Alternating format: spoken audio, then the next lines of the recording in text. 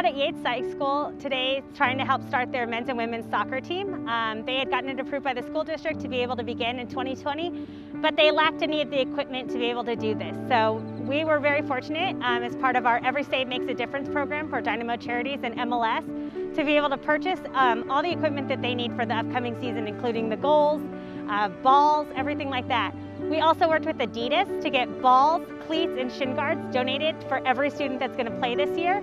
And then Bumpboxx was kind enough to donate little mini Bluetooth speakers to all of the students, as well as a bump box for the coaches to use during practice. To the Dynamos and to Trae tha Truth, thank you for supporting not only the students at Jack Yates High School, but the students in the Houston Independent School District.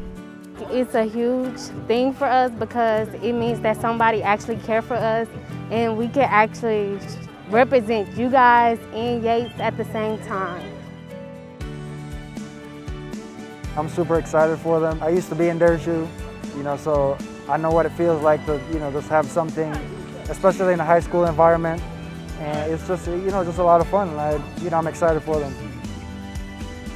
It's a wonderful opportunity. Growing the game um, in any respect is a wonderful thing, but for a community that's kind of been maybe deprived of the game a little bit for the last 10 years, I think it's a wonderful opportunity to grow the game and, and grow the spirit and love for the game as well. Hold it down, it's, at its idea, it's, it's a collective effort uh, to look out for one another, I think is what it is. And, and Trae is obviously a hip hop and cultural icon of Houston and he's done a lot of work, philanthropic work within the community, looks out for people and I think you know, he, he kind of embodies that message and for us to be able to go side by side with them on a project like this was really cool and I think it just kind of further reinforces that idea that we're always going to have each other's backs.